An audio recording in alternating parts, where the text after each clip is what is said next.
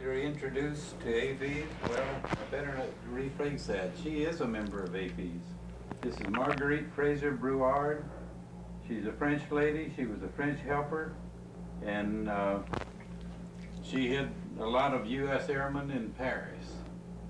Marguerite, Yes. take it from there. Oh, what, uh, what do you want me to do? I want you to Mm, introduce yourself and introduce your guests and tell Uh-huh. about them and tell about yourself. Okay, I'm uh, Marguerite uh, Brouard Fraser, and uh, I, I was a helper uh, during World War II when my, with my, my mother. I was only 15 and a half, and uh, we hid American airmen uh, in our apartment in Paris. And we, we, uh, we hid 13 altogether. We used to, we, 13 altogether. We used to, ha- to keep them about three weeks, uh, two at a time, until they had uh, identity cards and the, the trip to the um, uh, Pyrenees, you know, to, to go into Spain was arranged. And we'd, we'd take them to uh, the uh, station to be taken by guards, you know, to. You take them to the radio station to take them No, to the no, base? to, to, to the, uh, to the station, train station. I'm sorry, not radio station. I'm- To the uh, train station. The train station, take them to the base of the Pyrenees where they walk across into Spain. Across the Spain. Pyrenees into Spain, yes, Yes. yes. And then from there they would be sent to, uh, to, back to England, Very good. yes. Uh, What about, that's about you and your mom? My And mother you- and a, and a, and a friend of my mother, we, we had met in, uh, we were in turn, my parents were British, Mm-hmm. so we were in concentration camp in the east of France. And my sister and I, uh, being on the thirteen, we- uh, on the sixteen, uh, the Germans released us, uh, on the condition that we would stay in Paris, uh, on the, uh, the German surveillance. We had to report to the police every single day, all throughout the war. Mm-hmm. And when I was 16, I was supposed to be put back in concentration camp. Put in a concentration camp at Yeah, eight? because my parents were British, but they were from the Oh. Channel Islands, from Guernsey and Wow. Jersey. So, uh, but they forgot about me anyway. How could anyone forget about a beautiful lady like you? I, the Germans must have been awful dumb. Yes, it was getting towards the end of the war. So, so my uh, we lived with, with that friend whom we had met in uh, that was Besançon in the east of France, and uh, a friend of hers asked if we would mind uh, hiding American airmen in our in our apartment, and so my mother and uh, her friend accepted. Uh, our my father was in concentration camp all throughout the war, and our friend's husband was in the in the Air Force, in the British Air Force. So um, we, just, you know, my mother and her friend and her two little children, my sister and I lived in an apartment in Paris. And um then we, you know, they accepted to hide American airmen, and then we started uh, having having them two by two uh, for a period of three weeks each time. So in your apartment, you had to hide them and you had to feed them and you had to care for them and That's give them a place to sleep. Mm-hmm. Yes, they usually slept they, in the master bedroom together, and then uh, my mother and Maud and your children and myself slept in another room. Mm-hmm. And uh, we shared the little food we had with them, which wasn't very much. And uh, You don't have to apologize. You didn't have very much, but you shared it with them. we shared with them. What about the Germans uh, uh, Sometimes they sometimes they would they would uh, just show up at the apartment to check on us to see if we were there, and then we had two American airmen hiding in another in the bedroom. Mm -hmm. And if they caught you? Well, we would have been probably uh, tortured and sent to Buchenwald or to some kind of camp like that. We had some friends who were captured and sent there. What did you think about all that at the time, or were you even thinking about it? Uh, I think my mother and her friend were, but uh, uh, as for myself, being young, uh, I was very patriotic, and uh, I think that was a great experience and a great challenge, and I just uh, wanted to help and do anything I could to be free of Germans. That's a good way to put it. Yeah. That's what, what about your, your, your gentleman here? Well, I don't know much about their lives, so I think he bet he better say it himself, and I'll help him. Yes, sir. Your dad, were you a helper? Oui, c'est- Vous avez, vous avez aidé pendant la guerre, enfin, c'était votre Non, père. non, non. Hi- His Il- father. Your No. dad was a father. I am born in 1952, after the war, seven Yeah. years after the war. But my father was a helper. Uh-huh. And what is your name, sir? Um, surname? Uh, Oui, François. votre, votre nom. Uh, François. François, it's a very French. Mais votre, votre François. But, but my father was Pierre, Pierre François. Pierre He, Francois. he was a farmer. Tell us about your father, Um, how he helped and what he did. Yes, uh, it was um, September the 5. Um, he was, uh, as a farmer, he was harvesting in a field near a forest. And um, he, he heard a noise the, of, a, of a plane very, very low in the sky. Because usually he, he heard the, the bombers high in the sky. So the whole uh, plane is, is crashing. And uh, he, he didn't see uh, a pilot dropping with, with his parachute. Um, and uh, after a time, he saw a man um, getting out of the forest who came to, to him. Uh, when he, he spoke with the, with the airman, um, the, the airman had, had a map, a place, plastic map, and asked uh, wh- where I am. You are in France, but German enemies are all around. So you, you come with me, and I am going to comment on dit cacher? Hide. hide. Hide I am going to hide you in the forest. You don't move. You stay there, and in the night I am going to take you. But an hour after, an underground man come to him and ask him if he had seen. Yes, uh, I have hidden him in the forest. Mhm. You, and you can come in the night. And in the night, the, the pilot and the co-pilot and underground man came to to take the, the this airman who was the bombardier. Mhm. C'est- c'est? That's right. Okay. And uh, it's a, it, it was the, the job of my father. Mhm. yes. Alors, my, my friend there is the son of a helper, who was an, und, an underground man who helped the pilot, co-pilot and the bombardier, who were hidden in a hole with two um, Russian workers who had escaped from Romania. How long did you hide them? Or your father hide them? And how did he feed them?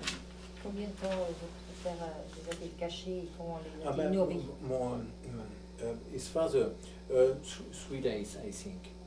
Um, and Six ou sept jours, oh, plus six, a, a week. une semaine à peu près. Um, but um, American army was not uh, very uh, very far from uh, Mhm. from our village, and uh, we decided to take them to to the American line. Mhm. And uh, uh, three days after, um, an American jeep with uh, two or three soldiers came in the in the village where uh, was hidden the, the pilot. But there was a problem. They they were in a, enemy territory. They didn't know that, so they had to to come back very fast to to the line because the, German enemy could uh, fall fall on them Mhm.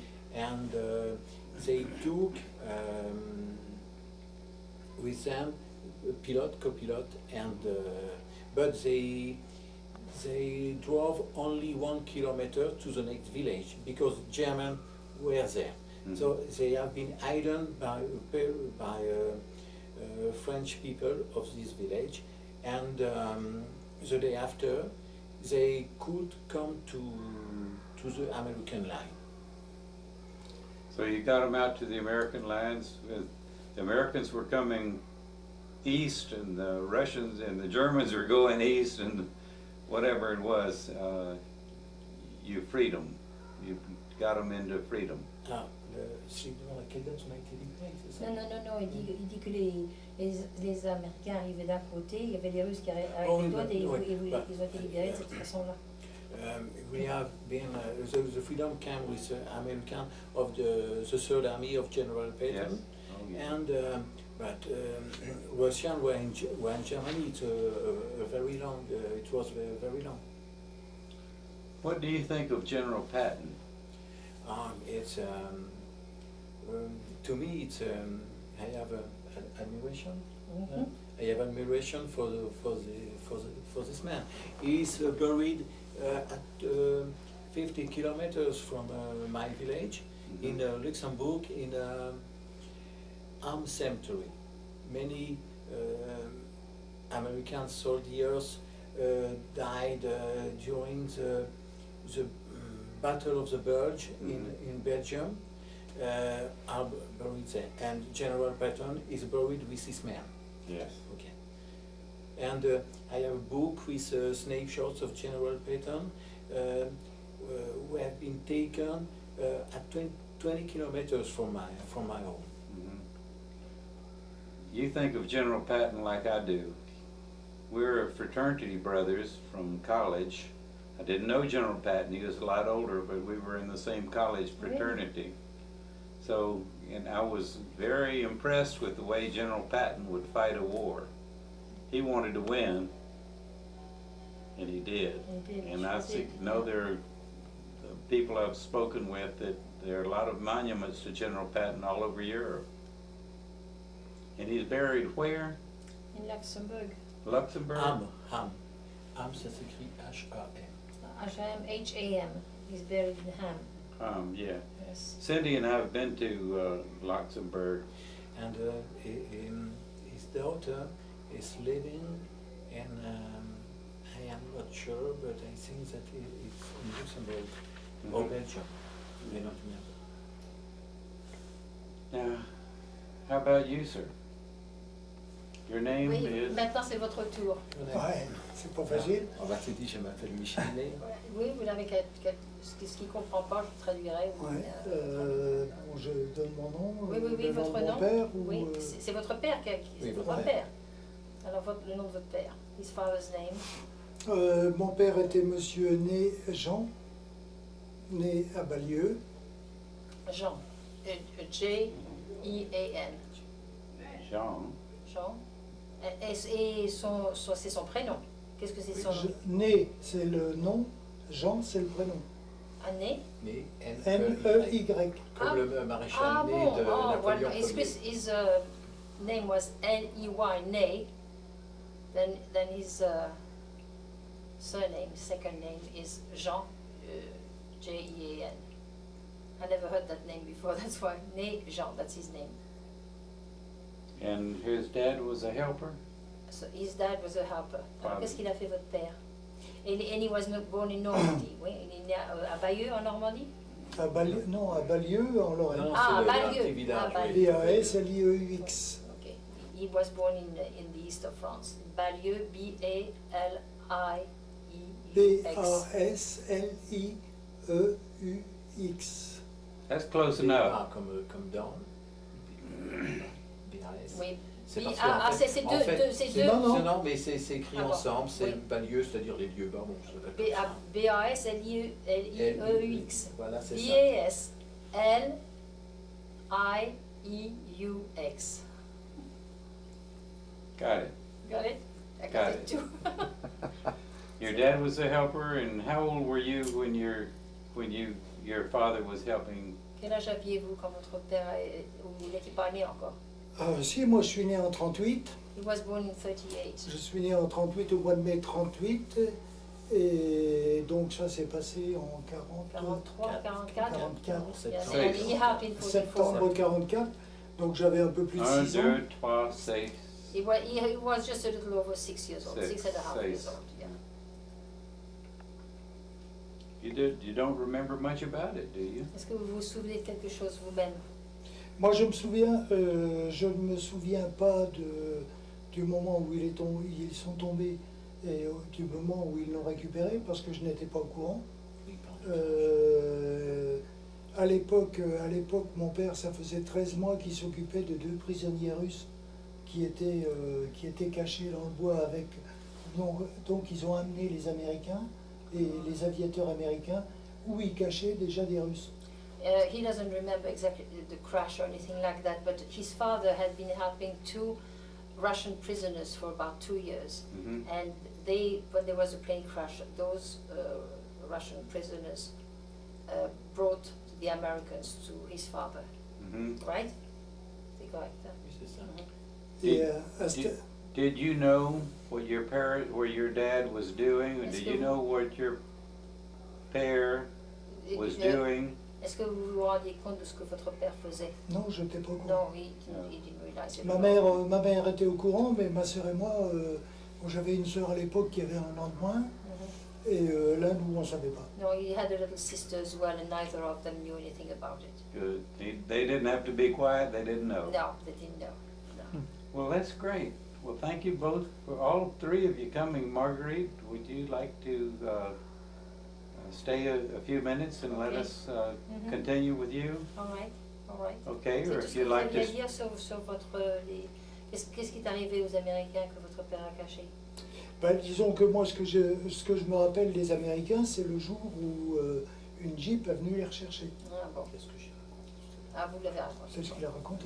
D'accord. You can, you can just stay here, I mean, we Vous pouvez rester si vous voulez, mais si, si vous voulez retourner euh, dans Oh, le, non, la salle d'accueil parce qu'il veut me demander d'autres questions, Pas de problème. Ben, bah, vous allez vous ennuyer là. je, voudrais, va- je voudrais quand même ajouter quelque chose. He wants to I- I- add I- something. I should want to add, um, there is uh, in, in choir, c'est une enquête, hein, c'est ça? Oui. Hein? Mhm. Which, which has been done by, um, um, and a book has been written about all planes we, that um, get crashed in the, um, in our country. Mhm. And um, I In have- your region. I am In your in the region, region. yes, I have, kilo- I have away. counted um, fi- 15 planes we, that had crashed because uh, it was the, the line of the, of the bombers to, to Germany. Uh-huh. Um, uh, I can see you um, uh, five miles around my village. Mhm. I can count um, two 24 liberators Yes. um, uh, 26, uh, two B-17, Mhm. uh, P-51 Mustang, Yes. um, and maybe others uh, that I don't know. Mhm. A lot of planes flew around Yeah, your village, a lot didn't of they? planes. Yeah. But uh, many uh, pilots or crew member died in the crash. Yes, uh-huh. That's, that's war. That's hell. Uh, Hold it a second, turn it. Okay, yeah. Um, um, our village was uh, occupied by um, by German enemy. Okay, hold it again, start was in, uh, in I'm rolling. which- I'm rolling. fine. Your village was occupied by Germans? Yes, um, in September, Mhm, beginning of September. mhm. Our village was occupied by German enemy because they were retreating Mhm.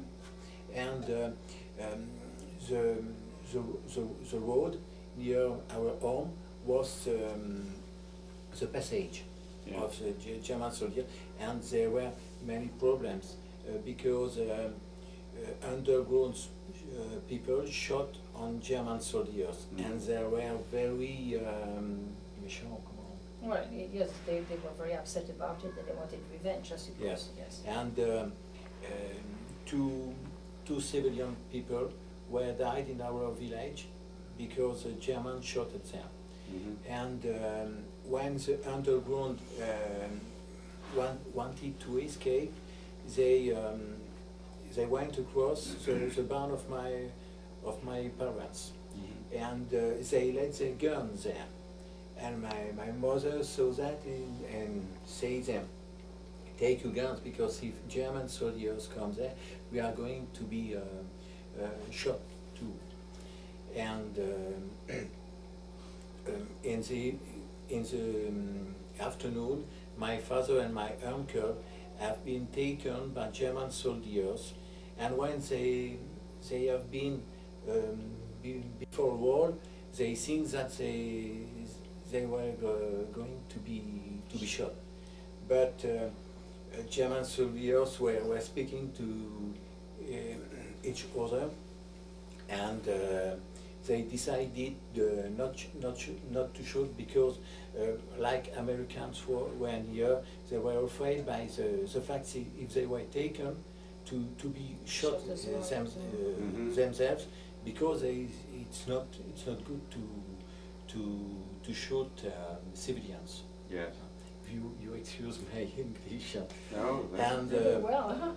and uh, another day, uh, a general in the night came, a, a German general came in our home, and he wanted to eat uh, French fries, and my mother hadn't French fries, so um, she she baked potatoes, and uh, when she she gave the, the potatoes to to the general, he was not happy.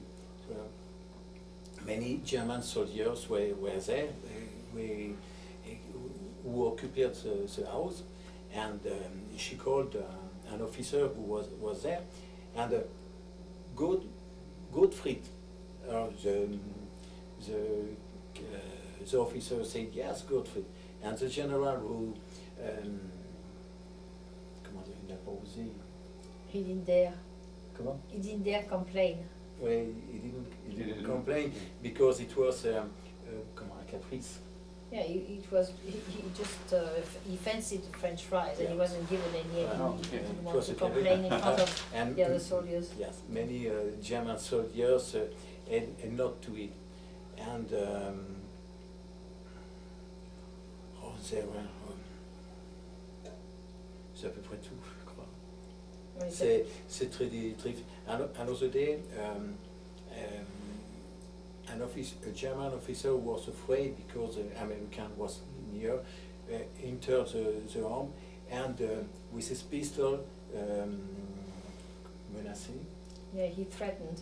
He, he threatens my, my mother, and my mother uh, said, no, no, no problem. Uh, line, German lines are, are there. You, you go and, you, and you will be quiet. Mm, Yeah. They, the Germans wanted to leave Yes. because the Allies were coming in and they didn't want to get in trouble. So your mother says, get out of here. That's a right. good, uh, that's a good thing for him to do. He probably got back to German, Germany and uh, saved, his- she, mother might have saved his life. Well, I can't, I'm talking Spanish now, su madre, uh, mamer. Well, I better not try and mix languages. Thank you very much, Francois. Thank you, Mary Jean. Michael. We, we are son of the helpers. So my surname is Henry and his surname is Michel. Oh. Michel et Henri. Oh, okay. Okay. It's it's it's uh, their Fran- father's names François that is they my gave family you. Name. I and see. Henry Yes, is yes. his- is his family name. Vive la France. Yeah. Thank you very much. Si That vous was a voulez nice retourner interview. dans, dans la salle, Oui, de- on va- et on va je, y je vais vous rejoindre. Give my shot Okay. on that. Um, We'll just cover that part again. okay, anytime. And this is. Yes, so after my, my father and my mother lived in Normandy, and my sister, Mhm. And uh, that's where my father was arrested by the Germans when they, they uh, arrived in Normandy. And uh, my mother knew the um, head of the French police in, in Caen, in Normandy, and he told her that she, if she had family in Paris, she and my sister should go there because otherwise she, being British, she might be arrested as well. So she came to Paris where I was with my aunt. But uh, a few weeks later, the Germans came to arrest the three of us, took us to some uh, prisons in Paris, where we were kept for a whole day uh, with many of the British subjects. And then from there, we were taken to the East Station and put into trains that were going to go to Germany, where we were supposed to go. So they, they kept us in those trains for three days. And uh, what they were talking, With no were facilities. No facilities at all. We were locked in those trains, old, old-fashioned trains, wooden seats and so on, and all mixed men, women, uh, nuns, priests, uh, and so on. Mhm. And then we were taken to um, those barracks uh, in Besançon called La Caserne Vauban, and it was winter. And uh, they made, it, made us walk through the town, you know, with uh, Germans on each, each side with their machine guns, and uh, we just walked there. We arrived there. It was filthy, filthy place. And we just rushed to find some rooms where we could stay. My mother found a room uh, where we, we stayed with um, another lady and her son, and we were seven altogether in, in that room. And we had bunk beds, and uh, with, with uh, straw mattresses. They gave us some uh, covers to put over those mattresses that were little white and blue checks. And we got up the next morning, we were all blue All blue. all blue. There was an old stove in the middle of the room, and we had to find some coal in the camp. And then uh, for food, we had to find some empty, dirty tins outside that uh, we washed the best we could. And uh, uh, you know, they queue up for some food and that the Germans had cooked. And um there were no no bathrooms or anything like that. They, they were just some wooden facilities, you know, uh, all in a line. yeah. Yeah, and as for um, no showers or anything like that, just cold water in a big room where everybody washed, you know, over um, cement sink, you know, and with uh, cold water. And in the book, it said some people fell in the Yes, spots yes. and Also, you read that book. the- Yeah. Okay, yeah, that's that's true. my mother, my, my mother was very sick because she couldn't eat anything, and uh, it so it went on like that for about six months, and then after after a few weeks we um, started receiving uh, parcels from uh, the American Red Cross, and those those parcels were uh, packed by the Quakers from this country, and. Uh, they, they were beautiful. I mean, we, we got one parcel a month, and that was wonderful. One parcel a month? Yeah. But anyway, they, they, as I said, that was a big treat. Mhm. then the, the life got organized in the camp. People started doing different things. We were given um, uniforms of the uh, soldiers from World War One because we, we hadn't brought any clothes with us or anything like that at all. So we had those pale blue uniforms that the soldiers of the nine, um, 1914 war. War, that's right. uh, and then afterwards, we, you know, we started organi- organizing ourselves. There were some French uh, soldiers that were prisoners there as well, and they were allowed to go out. So they got a few things in shops for us and things like that. Then after a few months, the uh, Germans decided that the women with children under 16 uh, could go back home. Uh, in, in our case, we were not allowed to go to our home because it was in Normandy and it was too close to the coast, and I don't know what they were afraid of. But so they, um, my mother said she had an aunt in Paris where, with whom we could stay. So they said, okay. So we went back to stay with my aunt in Paris. And in the meantime, our friend, uh, we had made some friends with another young woman who had two little children, uh, Maud Couve. And her husband was in the Royal Air Force, he was in England. So she had an apartment in Paris. And she was also liberated. And she just said to my mother, I'm alone in that big apartment. If you want to, you can, you and uh, your daughters can come and stay with me. So my mother decided to go and uh, stay with her. And, uh, you know, uh, being British, as I told you, they were uh, obliged, we were all obliged to go to the uh, police station every day to sign our names, and we were not allowed to be out after dark or have telephone or radio or anything like that. But we did have a, a, a Of course, small you radio. probably had one anyway. a, not a telephone, but a radio anyway. And then uh, in 1943, then when you know the uh, American uh, went into war and started going over to Germany to bombard uh, Germany and all that kind of thing.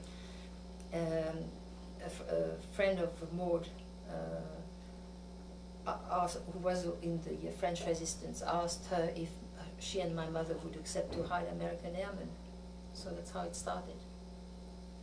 So we, we started, uh, we got contacts and uh, we started having, uh, having them two by two. The two first ones, the first one was a Canadian, Gordon Spencer, then an American. They stayed three weeks with us.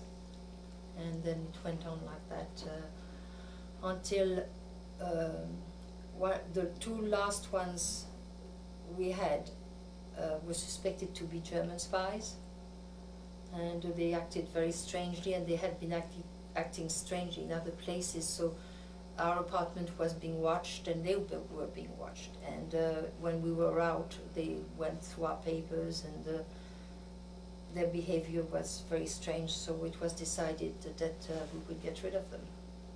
So a, a friend of ours uh, took them along the Seine, and they were shot. Then after that, we had one more Englishman and um, uh, Jim Kennedy, and he uh, he was supposed to be a spy, and there were posters all over Paris saying that uh, there would be a very large reward for whoever said where he was, you know. So he only stayed two days with us, and he was taken away, and we were told we were not allowed to keep any more uh, airmen after that Mhm. But uh, some of our friends had been caught. There was uh, one lady, Ge- Germaine Bachpai, she was sent to Buchenwald. And my future mother-in-law was uh, also followed and she had to, um, to move from where she was. And we, we uh, were told that there were people watching our apartment as well, so that was the end of it. Well, Marguerite, that's a beautiful story. I want to thank you so much for coming Quite- in. You're welcome. I'm still enamored with uh, AFEES and all of the helpers and all of the guys that were down and the way that you all still get together. Yes, yeah, we were lucky because all the ones that uh, we hid, um, and my mother and Maud would also take some back and forth to different places Mhm. besides the, the ones that we were hiding. And I also used to write some papers at, in my school for the uh, underground and things like that. Where do you live now? I live in Arizona since se- seven months in In Sedona. Arizona? Uh, Where in Arizona? In Sedona. Sedona, Arizona. hmm Well, that's quite a change from France. It is. It is. Thank you, Anyway, honey. Okay.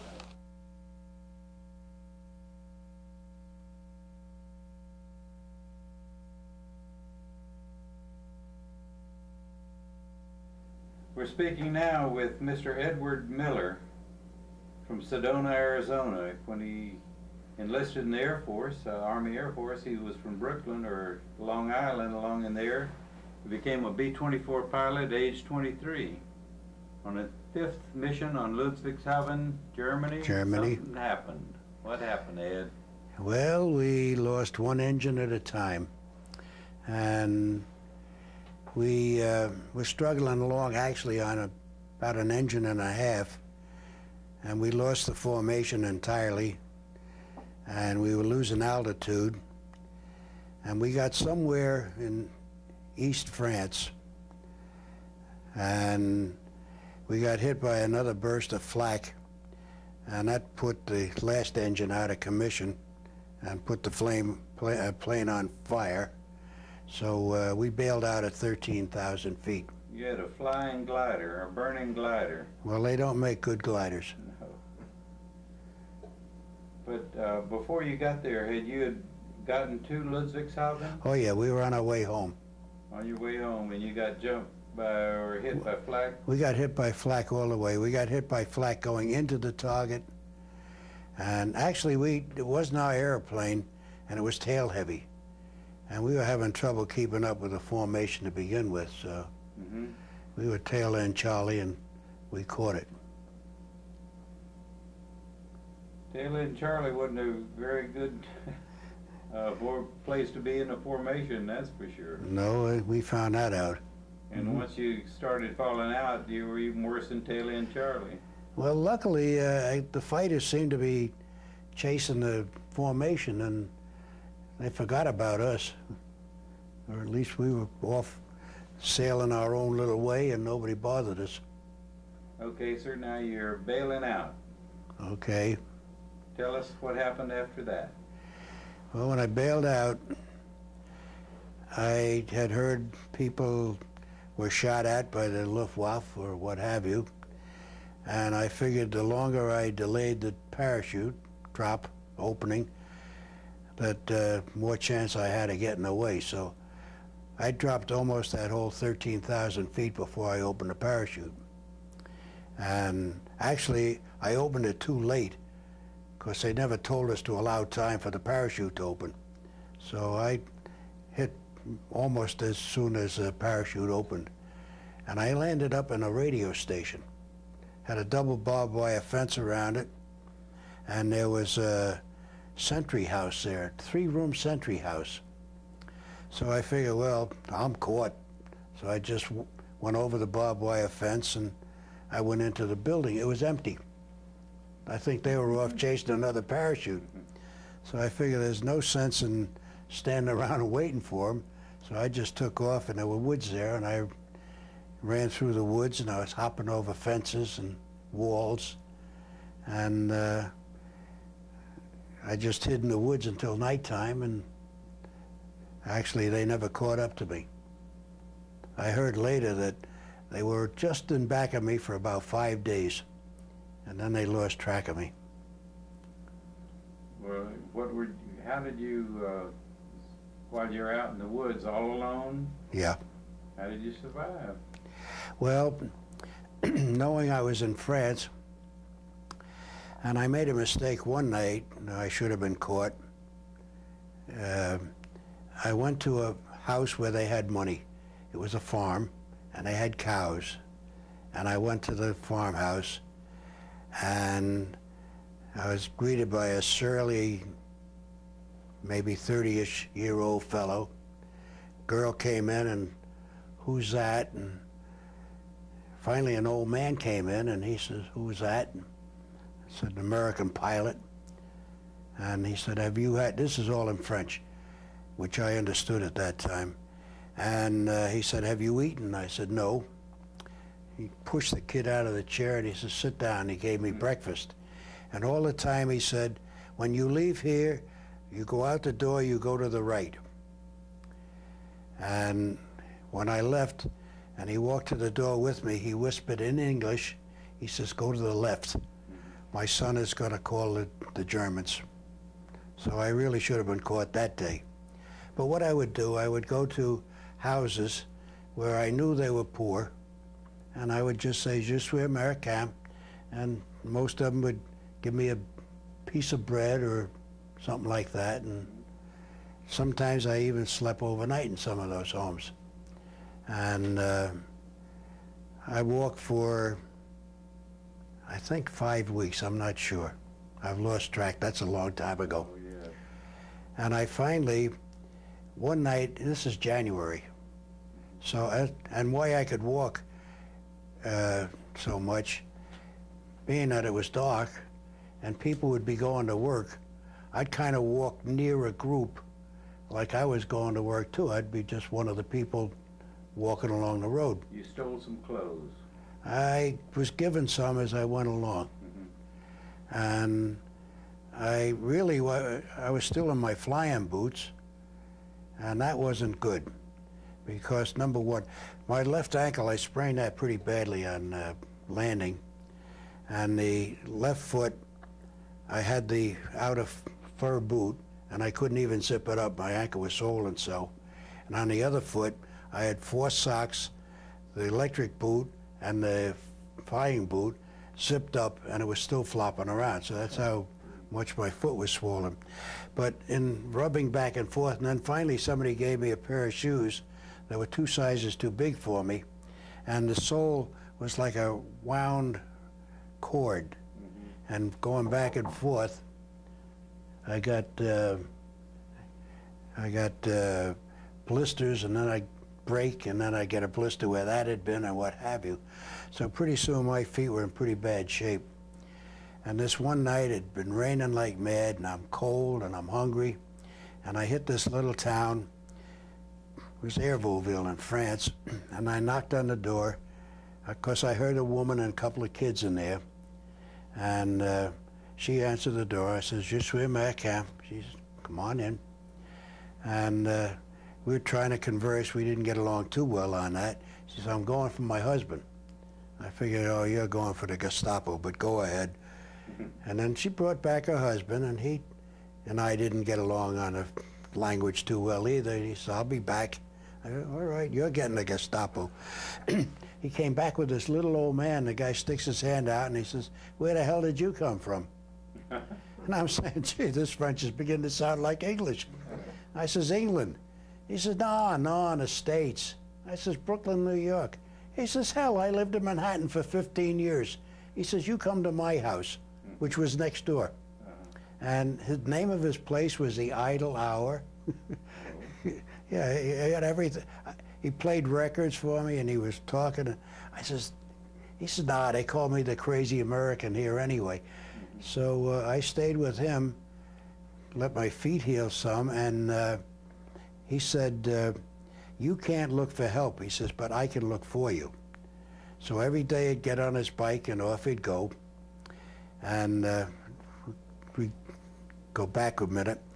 And the first night, I said, you know, in America, we like a glass of water. And I said, I asked for a glass of water, and that's what pigs wallow in, or that's what you wash your feet with. He says, I'll fix you up. So he came back with this water glass full, looked like water, and I go, gulp, gulp, and it was Calvados. I don't know if you've ever drank Calvados. Mm. It was 15 minutes before I could even squeak. it is potent. White lightning, it's called. so anyway, uh, I stayed with him, and he finally got in touch with a mayor of a town who knew some boys from his town, boys being in the 20, early 20s, maybe late teens, who were in the black market in Paris, and they knew underground people. So one of them came down and picked me up, took me back to Paris, and I stayed with them, and we'd interview. They'd actually interview different undergrounds. How do you get them out? Well, there were three main roads, as, as you probably know. There was a boat coming in from England or arranging for a plane to land or to go across the Pyrenees. And uh, they'd say, how do you do it? Well, we do it this way. What's your success rate? 50%. Not good enough. Or how long is it going to take you? Well, about five months. Too long. No good. And they finally arranged to uh, give me to this one underground. And they were pretty well organized. I don't know if they had a name. And uh, they turned me over to them. And uh, I went across the Pyrenees and down into Spain, and then from Spain went down to Gibraltar, and I got on a plane load of uh, British wounded out of Africa, and we flew up back up to England. I got back to the base two days before, the day before D-Day. So I actually got two missions in on D-Day, which the colonel let me fly them to get my flying time in, but I can't take credit for them because you weren't supposed to fly again. So. You flew on D-Day? Yeah. Good Lord. Mm. What was your closest call with the Germans? Well, there were lots of them. um, well, I should have been caught one night. I, was coming out of a French house, and it had a big gate. He opened the gate, and as he did, this German soldier, and I'm still in complete uniform, and this was only a few days after I'd been shot down, bumped into me in a full moon, and he said something which I understood, and I'm saying the same to you, fella. And there were 50 of them had taken over this man's house. And I looked in the window, and there they were, all dressed in there in uniform. And uh, I figured, well, if they're that, they're not that good, not like they're cracked up to be, they're not going to catch me. And when I got to Paris, when this under the uh, black market fellow picked me up. We uh, got in a train and went back up to Paris in the daytime. By this time, I had clothes, you might say. that the, the Frenchman had given me a pair of his pants, and he was a short man. They came to about halfway down my leg. So they got suspenders so that the top was here. So now they had to find a coat to hide the fact that the pants were there. And this train, when we pulled into the station, I thought it was a passenger train, and uh, I'm enjoying the scenery and what have you. When we reached Paris, we were the, next to the last car. The last car was a German 88 gun with a crew on it. There were two or one or two more passenger cars, and the rest of the train was a German troop train. And there they are lined up on the platform. I walked down there, I felt like the reviewing general walking by them. And when we went down and got on the subway, it was like a New York subway, got pushed in. I found myself standing on the insteps of a German officer, and we're nose to nose. And he's glaring at me, and I'm sweating bullets. And that train seemed to go forever. And finally, when I got off with this Frenchman, I said, I was standing on his feet the whole time. He says, good, he thought you were a Frenchman. and I found out later that uh, they got me really dressed up. They got me a Chesterfield with a velvet collar and white silk gloves. I was, they all thought I was a collaborator. I'd go through some station or something. I'd get kicked in the shins, the elbows, and the ribs. So, the Frenchman would. yeah, the Frenchman would do it. They thought I was a collaborator. I'm saying, come on, fellas, I'm on your side.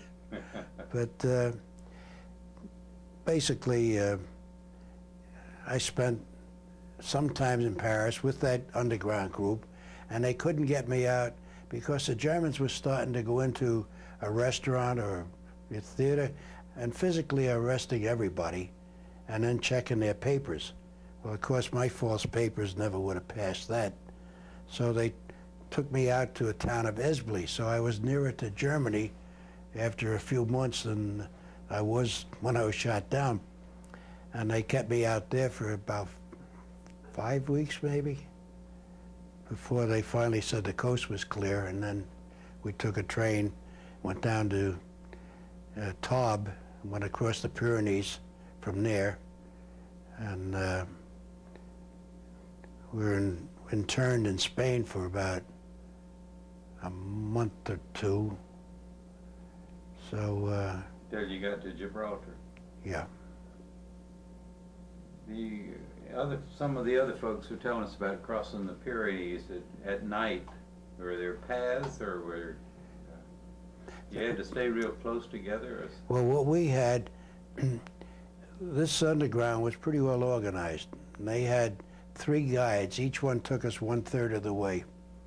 And they had given me brand new ankle high shoes. And I personally put the cleats in, like golf cleats. And three and a half days later, some of those cleats were worn smooth, some were gone altogether, and those shoes looked 30 years old. That walking across the Pyrenees was no, uh, picnic? no, no piece of cake. But, and each one of these guys took us, sometimes we walked in the daytime, but mostly we walked at night. And there were three Americans, counting myself, a French doctor and his son, teenager, that the, the Gestapo was after, and a young Frenchman that wanted to uh, join de Gaulle for the uh, army to free, help free France. So there were only six of us.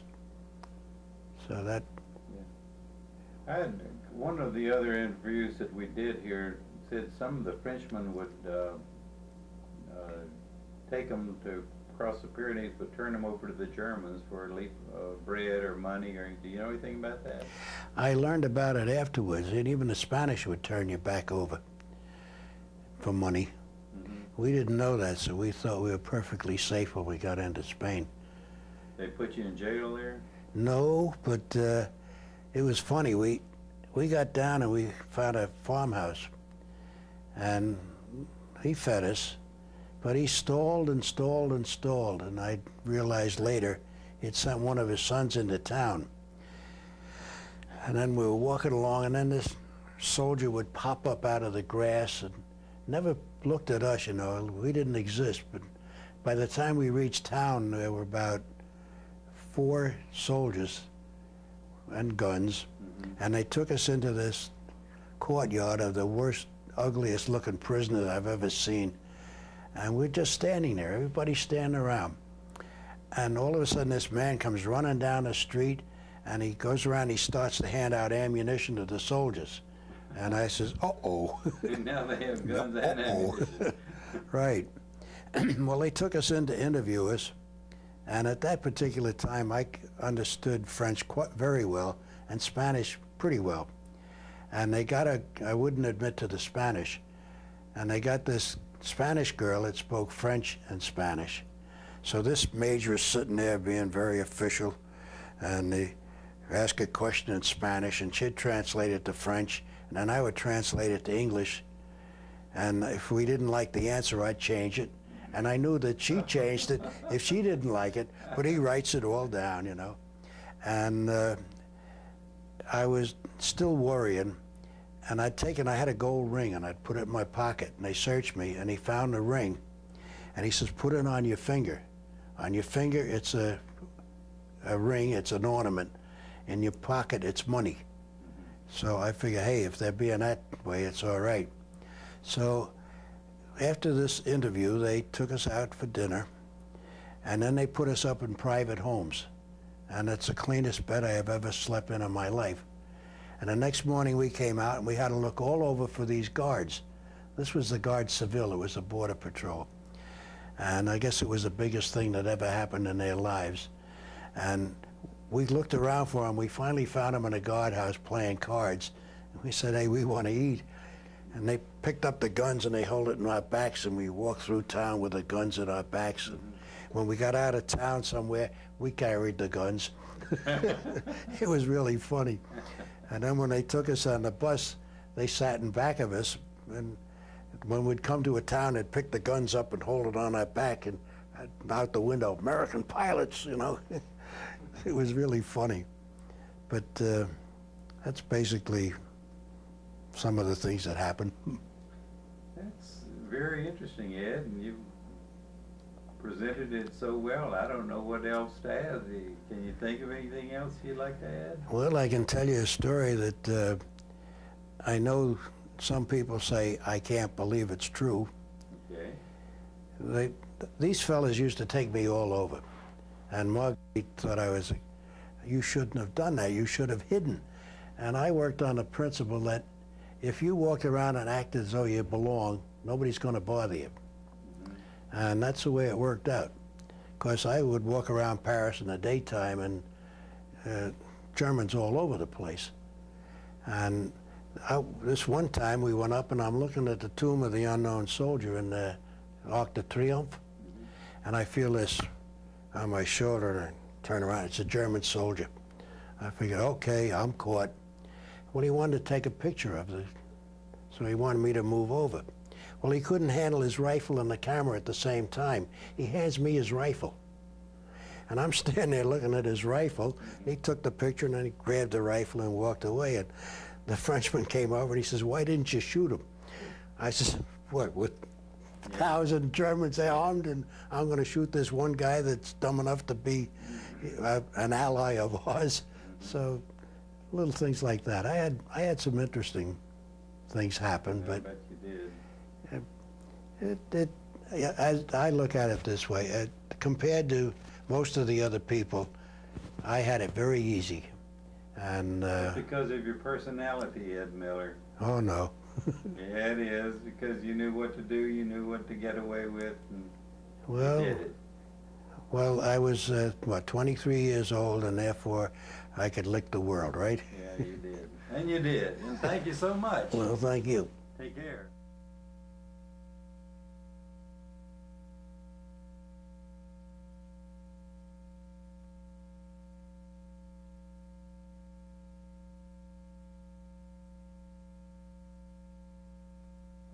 We're speaking now with Yvonne Daley Brusselmans. She's an American citizen now, thanks to the good graces of our country. But Yvonne, you got, uh, you were born in Belgium, and you have a long story to tell. How about starting and uh, why are you with AFEES now? I'm with AFEES now because uh, many years ago, in, uh, in 1940, a minister knocked on our door and asked for help. And my mother, who is uh, half British, my grandmother was British, uh, said that she would help. And it started with one Canadian, one British, and uh, from then on it just uh, was on and on until the Americans showed up uh, in 1942. And uh, at that time, uh, we had more Americans than British. We, um, she was credited eventually at the end of the war with uh, 132 Allied airmen saved. Uh, it, I always like to recall that uh, after D-Day, we were instructed not to put them on the escape route back to England, but to keep them. And she remained with 54 of them uh, at the end of the war, and she very proudly turned them over to the military uh, authorities, British authorities, at the Metropole Hotel, which is a hotel in Brussels. And uh, that we thought was the end of our involvement with the Allied Airmen. Well, it was not. And we became members of the Royal Air Force Escaping Society, which is the first organization, that, such an, an organization, that was uh, established in London by Lord Portals. She became the representative, the, the representative for Belgium uh, for 16 years, and we just looked after all the helpers and all the people that had helped uh, Allied Airmen. She then became a member of the Canadian branch of the Royal Air Force Escaping Society, and in, as such, we visited many of our friends in Canada. And eventually, and of course, then met some of the, the AFEES people, the American ones. And uh, when we moved in 1981 to the United States, we were made members of the Air Force Escaping Society uh, and have enjoyed so much being with all of them for so many years. I eventually was am very honored to be on the board of directors and as such help with some of the reunions. Um, we always felt that it was a 50-50 job. The airmen came over to free us from German occupation. And my mother always said that she felt that she would want somebody to do the same thing for her son, should he be in that position. Um, as I said, we started with a Canadian and a British, and uh, I have one uncle and two cousins. And we were told repeatedly that the men who were staying with us at the home in my bed, and I was moved into the living room uh, on two armchairs put together for four years, uh, we were told that they were Flemish cousins.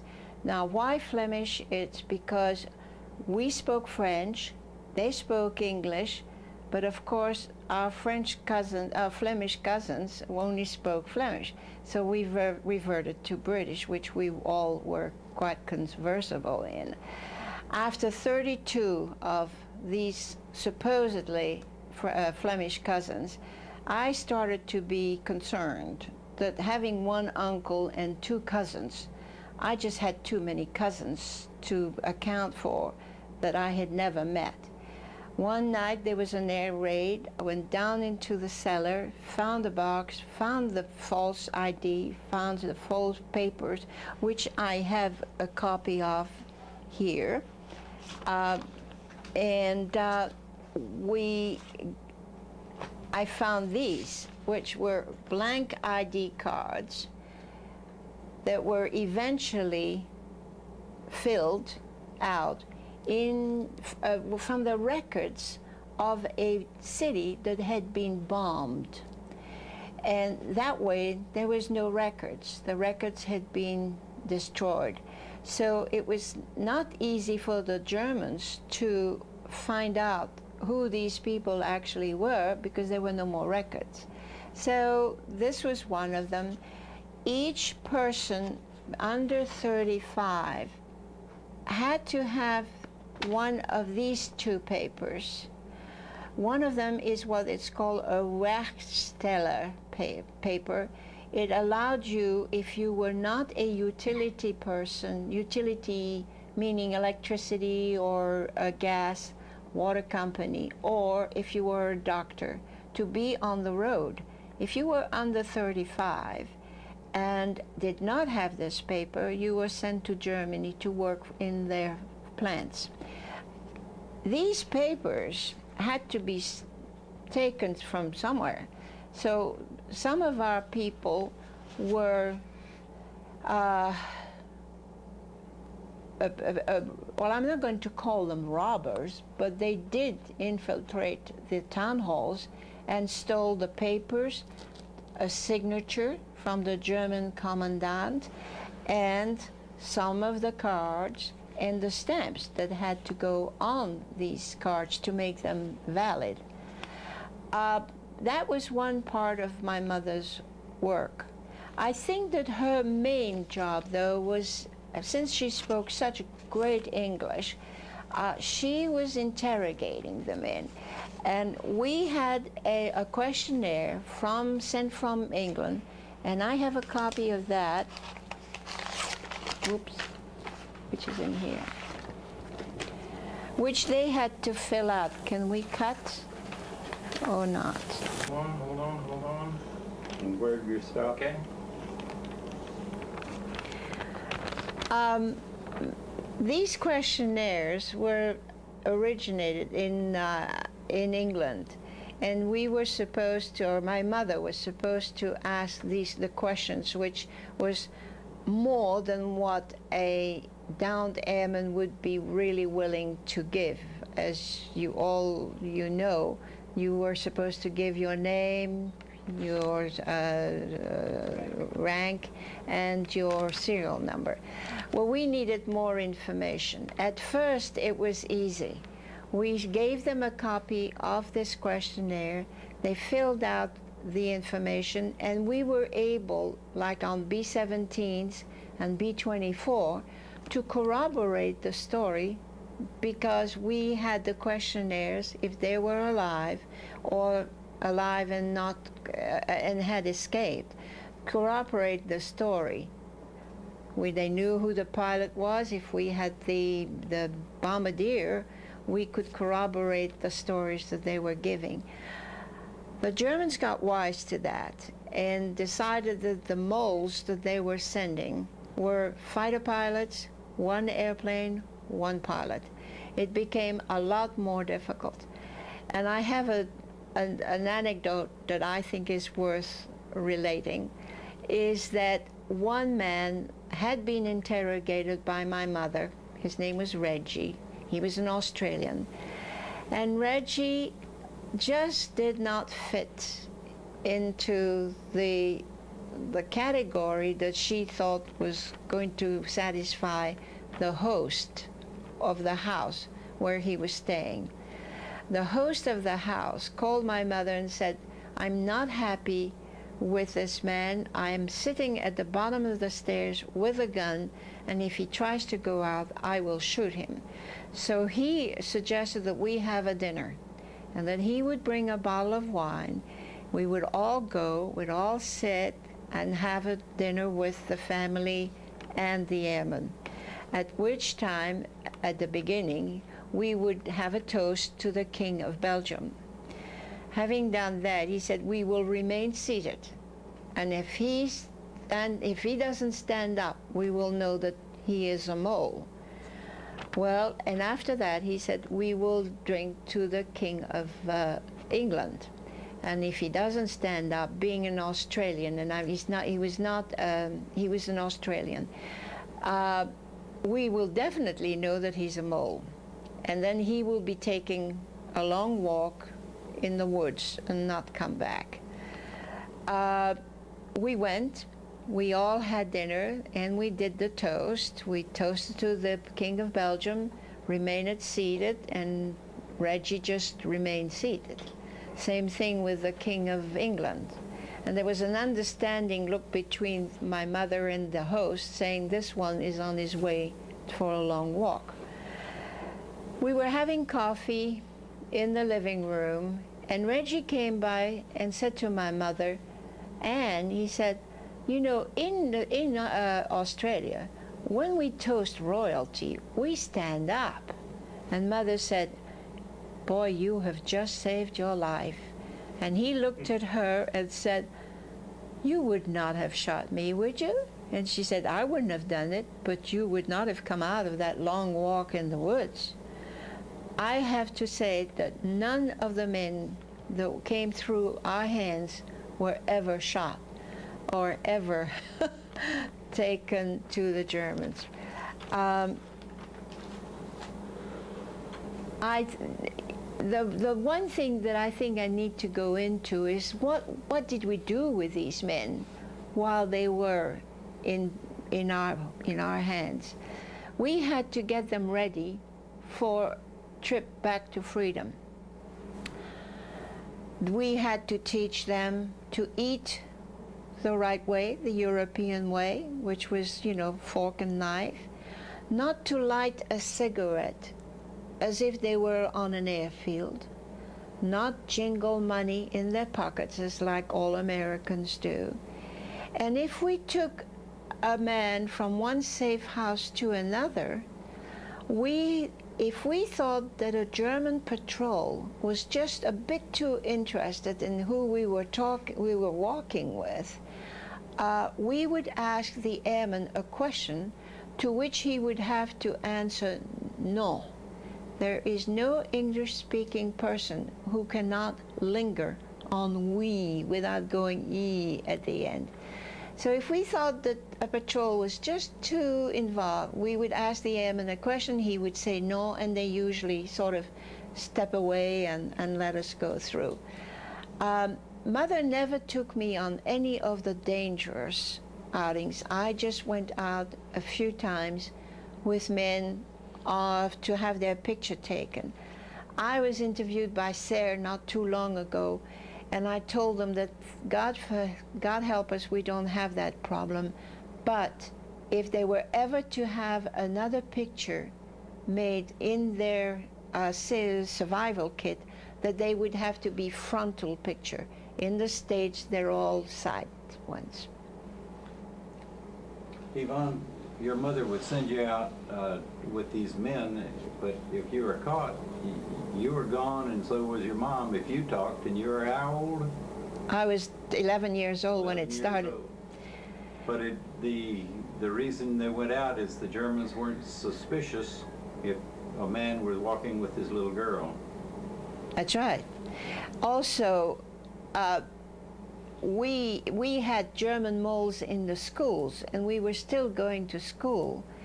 And uh, it's very difficult not to tell your best friend that you have this really good-looking young Allied airman staying in your house, and sometimes we had three or four of them. So I think that uh, in those days I was less talkative than I am now. Well, I'm glad you're talkative now. There's a story about the Germans in your house when uh, there had some people in the back room. Tell us that story. All right. On the 1st of September, we thought that we had made it. We had never been arrested. We were safe.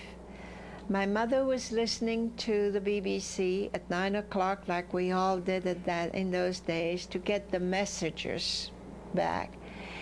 And there was a ring uh, downstairs. We lived on the third floor of a, an apartment building, and it was after curfew. And after curfew, if a car stopped in front of your building, you knew that it were Germans. My father went down in the elevator, gave my mother time to switch the radio to a German station, because the first thing Germans would do if they came into your house was to feel the radio. If it was still hot, they knew you were listening to something that you should not be listening to. So she turned it to a, a, a some German or Belgian authorized uh, station. She she kept notes during the war, and she was also making envelopes with money, the last money to be given to the people who were sheltering them in. She shoveled all that under the trash cans outside on the terrace, and up came two soldiers with two machine guns, which they installed in the hall. They wanted to search the apartment. In their room, in my parents' room, they went, there was no one. They came into my room, woke me up, and for 30 years, I could not stop thinking of the breastplate, which we're all aware of, this metal breastplate, the helmet, and a gun in my face. And I'm 14 years old by then, 14 or 15 years old. I screamed, uh, and they realized, of course, there was nobody in that room and wanted to go into my brother's room. My brother, thank God, was away in the country, and in that room was a young uh, Belgian soldier in full gear, ready to go and help the Allied uh, forces that were marching into Brussels. We could hear the cannons at the back, so that's why we thought we were pretty safe. So they wanted to go in that room, and mother barred the room and said, I don't think I want you to go in that room. My little boy is sick. And they said, no, we need to go in there. We have to search the whole apartment. And she said, no, I, I, I would prefer you didn't.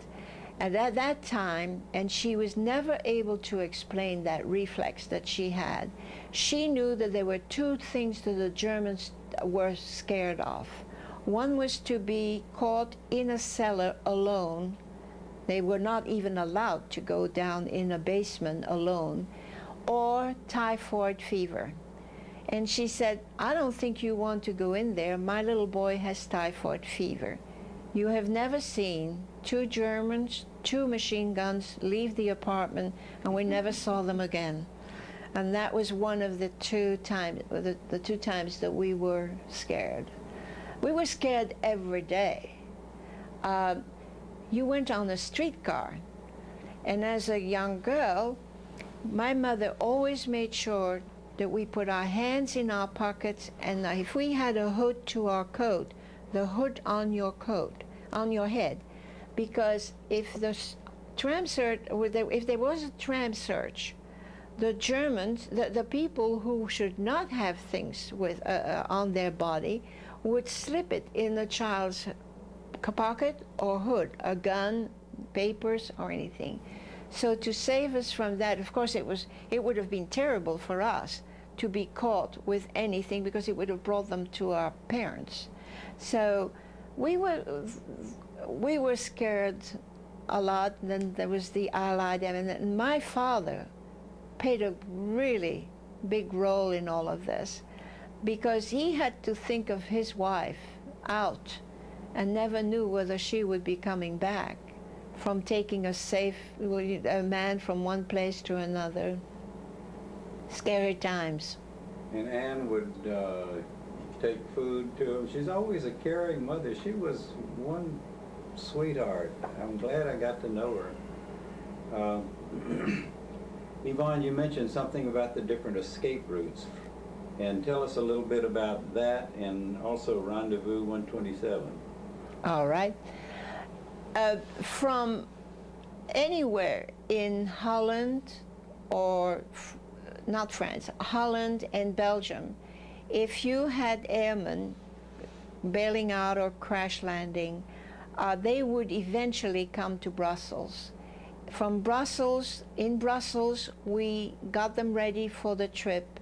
Uh, there were about four or five escape lines. One I'm sure you heard of from Ralph Patton, which was the Shelburne line.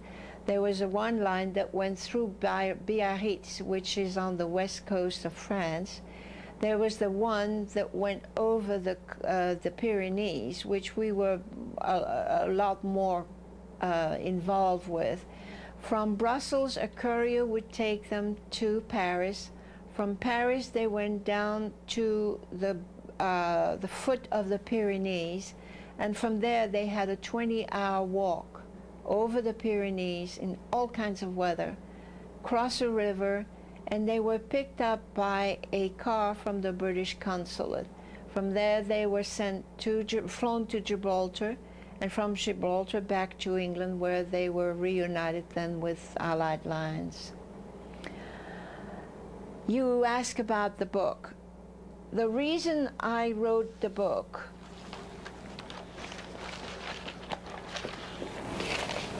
Belgium Rendezvous 127 is that one of the priorities of my in my life have been to keep her legacy alive.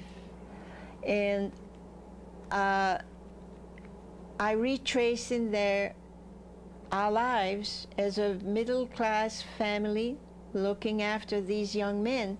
And you, the AFEES has a motto, and that motto is we will never forget.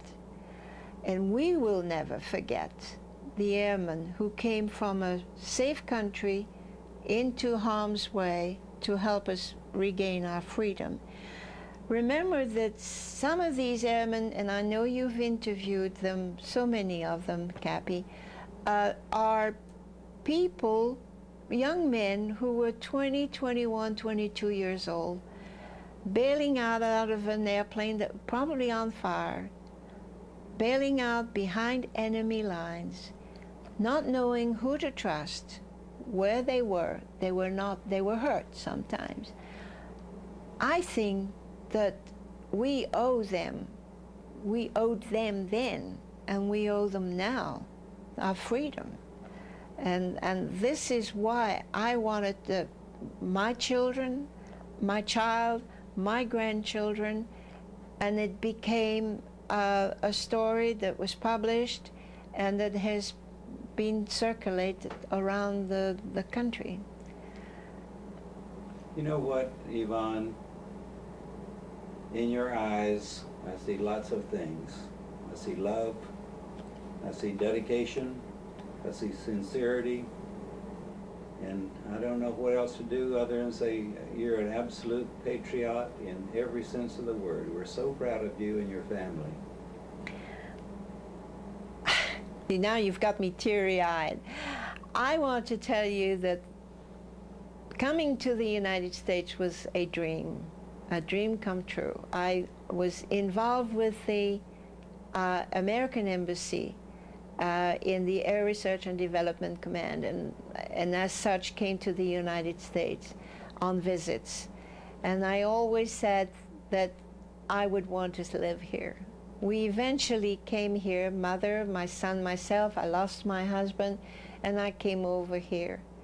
And I joined a group of people who have become my extended family, my friends, and you got me teary-eyed now when I talk about the Order of the Daedalians, military pilots who have adopted me, who have adopt, who adopted my mother, and gave her the I, okay,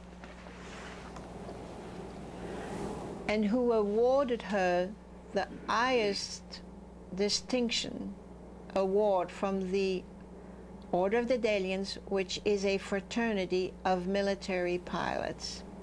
And I think that on this picture is my mother, the then wing commander at the base, the national commander, General Moore, and a dear, dear friend of mine, Cappy B.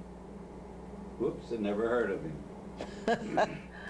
Honey, uh, Daedalians, the uh, theory behind the Daedalians, of course, was the old Daedalus and Icarus, and Daedalus uh, stayed down where his low, escaping You know, the, the Icarus flew too close to the suns and his uh, melted off his wings, but that's the military pilots organization, about the Daedalians, uh, Eddie. So uh, we want to bring that in there, but there is something else uh, I wanted to ask Ivana or get her to explain. Cut it a second. All right, now I have to, to think about that because it's, it's a very sensitive situation with the INS. Uh, I've got to think what I'm going to say there um, because I don't want to. How did we come to the United States? Uh, we lived we, we, we, we lived in Belgium and I had lost my husband and had always wanted to come and live in the United States. Uh, so in 1981, after my husband passed away, we, I decided to come back because I wanted to give my son the freedom that I knew he would find in the United, in the United States. My mother at the time said, you know, I have all these boys, my boys, who are still in contact with us, and I'm going to come with you. So we went to the American Embassy and we applied for an immigration visa to immigrate. Uh, it was denied and it, they just went by the book. And I can understand their situation. We had to have a blood relative in the States and we did not. And having a Medal of Freedom with Silver Palm didn't, didn't come into the picture. So we went to the Canadians, and the Canadians gave us a visa immediately. So we said, all right, we'll go to Canada. And so we left for Canada, and I was able to get a job in the United States and came here, became a, per, a permanent resident. My mother used to travel back and forth from Canada, where she was really well looked after by the Canadian Air Force uh, Escaping Society. But our object was, our ultimate object was to live in the United States together. So after six years of coming back and forth from Montreal, where she was, uh, she spent Christmas once and had a heart attack. And the doctor said there's no way she can go back to Canada, uh, live alone. We were, I was talking to uh, Ronald Pierce, who was a, who is a member of the Air Force Escaping Society and who lived in who lives in Atlanta. His son-in-law was a reporter on the Wall Street Journal. We never wanted to come in with the media uh, backing us up. We felt that if we were going to come into the States, it was going to have to be through the big door. I, I explained to Ron that my mother was having trouble, and he said, Bill will make it, uh, will do something about this. He will put an article in the Wall Street Journal, which he did. And the heading was, America, uh, Anne Brusselmans was there for our boys during the war. Where is America now? President Reagan was coming back from California on Air Force One, read the article, instructed to the INS to be there the next day, which they were. And they made her a, pres uh, a, um, a resident, a, a resident alien. As such, she was able to enjoy her boys for six years, and six years she met them at every reunion that the Air Force Escaping Society had. Uh, they wanted to make her an American citizen, but she eventually passed away. I became an American citizen, and to this day, it's one of my proudest moments is that I was supposed to be at the convention center in Tampa with 2,000 other men, and uh, I mean people, to be sworn in. And the Daedalians at MacDill Air Force Base, Florida said, no way. Called a judge, a fed federal judge, called an INS agent, and in the presence and they didn't know about it. I kept it quiet from them until the end of the reunion, one of their monthly reunion. We brought the judge up, the INS up to the podium, and they swore me in as an American citizen. The the noise, the uproar, the, the applause, the love, the hugs that that got uh, that I got that day, I will never forget. And it still is bringing teary eyes when I do. Now you got me teary-eyed too. and I have one more story. Can I? please, Okay. sure. Which I think is brings my mother back in. As I, am I okay? I have 12 minutes left on the table. Oh gosh, I'm not going to talk 12 minutes, but this story is good, I think. Um, as I told you, after the 6th of June, no more evacuation of the men. Why? Because the railroads were uh, uh, bombed by the Allied troops, and we wanted to keep these men safe. They had been, some of them had been with us for six and nine months. So we were there with 54 airmen that had to be moved from one safe house to another. We visited them. We brought any books that we that we possibly could have to help them pass the time. We also had to stop them from getting away on their own. One of them alive. On the 3rd of September, when we were liberated, there was an announcement on the radio saying, any downed airman in Brussels, will you please report to the Metropole Hotel? We went down to the Metropole Hotel having heard that, and my mother met the military intelligence guy there. He was a lieutenant, he was a British lieutenant, said, I have 54 downed airmen, Allied airmen. And he looked at her as if she were coming from Mars and said, ma'am, are you sure they're Americans, uh, uh, British? And she said, I can go and get them if you give me three vans.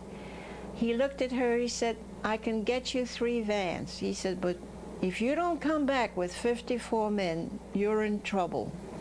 So we went from one house to another, brought the airman and the helper to the Metropole Hotel.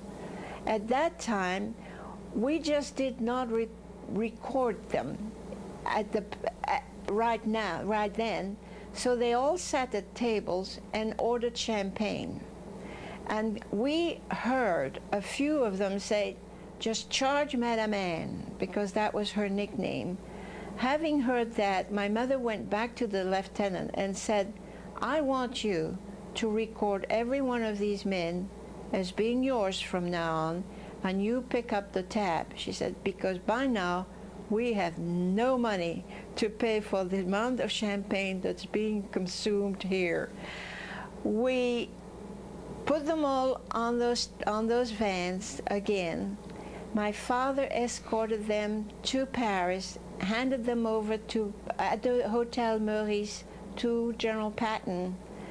And as they left that square, they gathered around her. Now, they didn't gather around her. They wanted to make sure that she was there with the vans. And they sang, for she's, for she's a jolly good fellow. And the last we saw of them was them singing that song to her.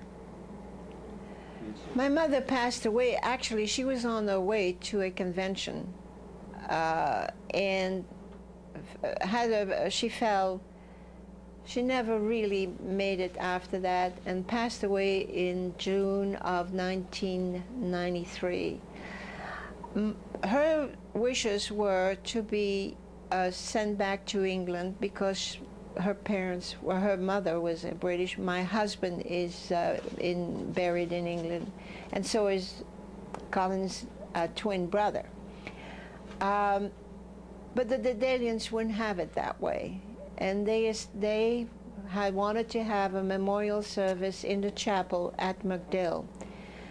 There, I don't remember how many of not only the Daedalians, but the members that we had met at MacDill were present, and we had the Air Force Escaping Society. We had one of the men who is still alive, John Chernosky, who talked a little bit about her at the podium also.